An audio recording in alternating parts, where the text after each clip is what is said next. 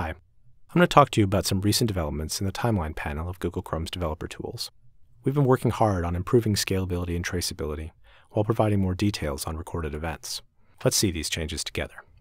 First, we need to open up DevTools and switch to the timeline panel. We will then record a couple of events to see the new features of the timeline panel in action. I hit record, I reload the page, and then we stop recording once the site has stopped loading. Top area shows an overview of the events we just recorded, grouped into three categories loading, scripting, and rendering. The loading category groups all network-related events. The scripting category includes JavaScript execution upon various events. Finally, rendering includes CSS calculation and paint-related activities. The top area also contains a resizable sliding window. The center area has a list of records. These records have titles to the left and timeline bars to the right. Hovering over elements in the list or clicking on them provides you with details on the events. Expandable compartments on the graph visualize nested records. All this will help you to see what is happening inside the browser. In particular, with the timeline panel, you can understand which events caused your browser to work harder than others. Now I'm going to show you how to use the timeline panel to record and investigate a particular use case. We will begin by clearing the timeline panel using the Clear button on the status bar.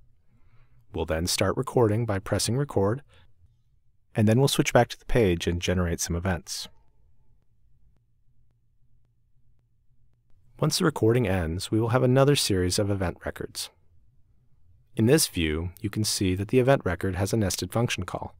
That's because there's a JavaScript listener registered for the mouse over event. It's possible to see which function was called with the help of the details pop-up. This appears when you hover over the event or click on it. Clicking takes us to the resource panel into the very line that was called on the mouse event. If we go back to the timeline panel and click on Install Timer, Recalculate Style, or Parse, the details bubble will have caller hyperlinks.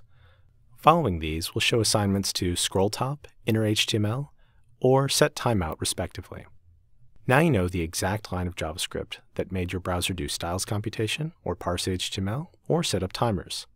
To summarize, the timeline panel gives you a look under the hood at how the browser does its work and what processes are more computationally intensive. This view spans both rendering and JavaScript, so you can better tune and optimize your web applications. To learn more about Google Chrome's developer tools, visit chromium.org/devtools.